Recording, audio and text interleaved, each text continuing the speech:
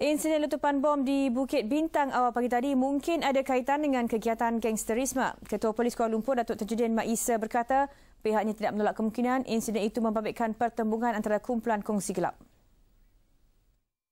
Siasatan awal di mana saya ditaklimatkan uh, tadi mungkin uh, kejadian ini berpunca daripada uh, kegiatan uh, gangsterisme lah ya. So itu tak siasatan awal ya. So apa pun uh, fokus siasatan kita lebih menjurus kepada itulah buat masa ini. Siasatan juga mengambil kira berbagai sudut termasuk menganalisa rakaman kamera litar tertutup CCTV untuk mengenal pasti identiti suspek. Keterangan mangsa serta saksi juga akan diambil. Dalam pada itu, Tajudin turut maklumkan keadaan di sekitar kawasan kejadian selamat dan segala aktiviti boleh dijalankan seperti biasa.